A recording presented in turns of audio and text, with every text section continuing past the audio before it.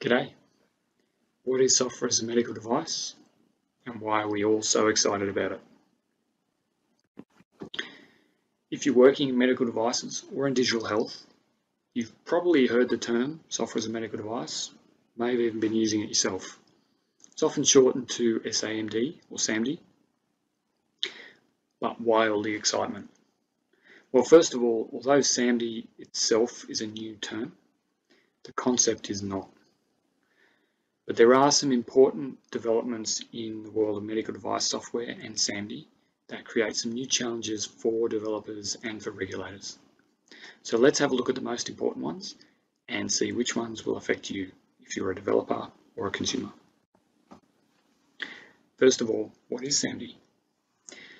Well, it's a piece of standalone software that meets a legislated definition of a medical device.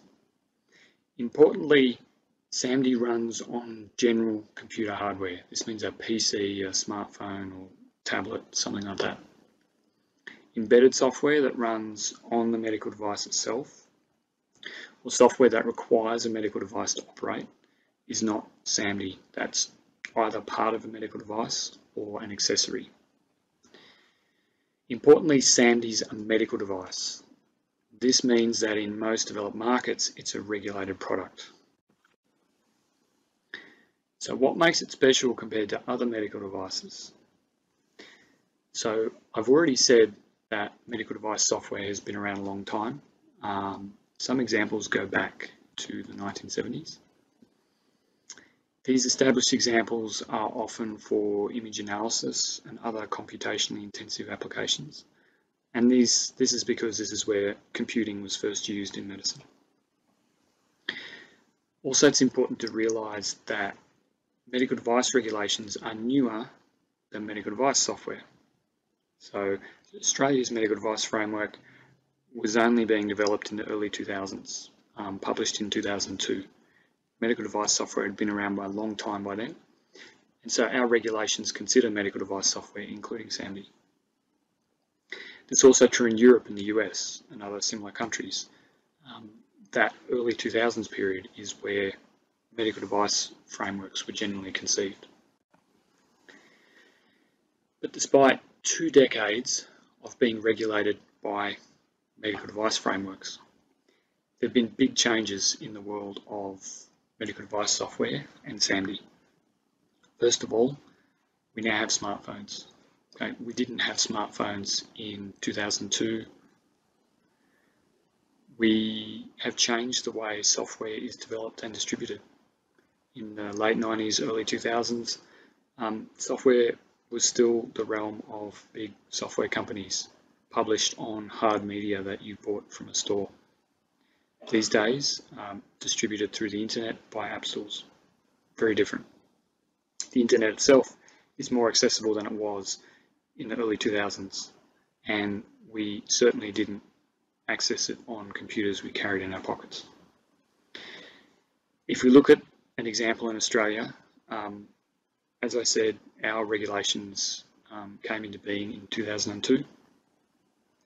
At that time, when they were developing those regulations, which were developed you know, late 90s leading into 2002, they just didn't consider that they would need to regulate software that was capable of making a clinical decision that was developed by an individual published to the internet to be downloaded by anyone and runs on a high power computer carried around in people's pockets. Um, the technologies for that to happen didn't exist and it wasn't considered. Now these are all fantastic developments in technology, okay, don't get me wrong, they're important and huge steps forwards in healthcare have happened because of them. Okay, manufacturers and developers of medical devices, not not just software, but hardware as well, have been able to use these technologies to help us manage our healthcare and to help um, clinicians in their practice.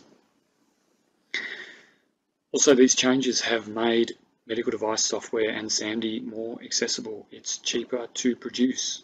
Um, now, instead of a couple of dozen specialty products made by a handful of big companies, we have hundreds of thousands of consumer medical apps to help us with our healthcare.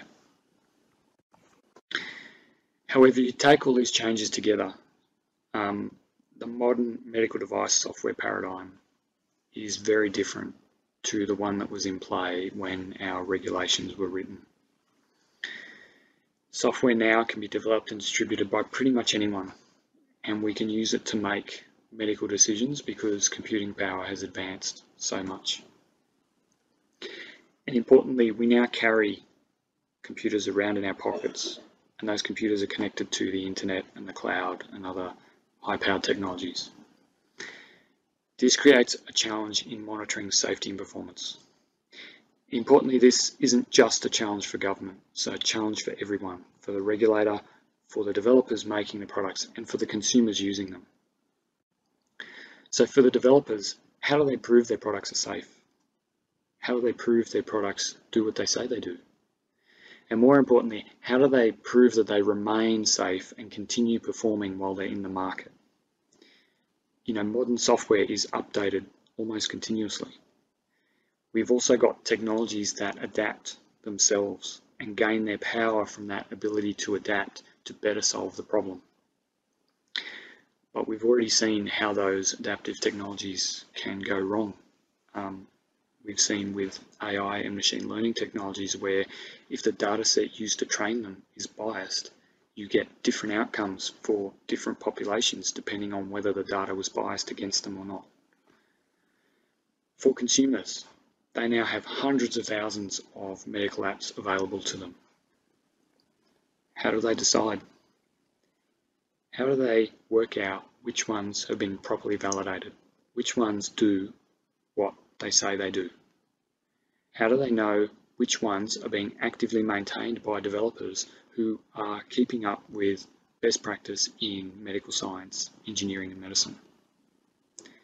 For governments and regulators, how do they monitor a marketplace where the product is so easily available, can change so quickly?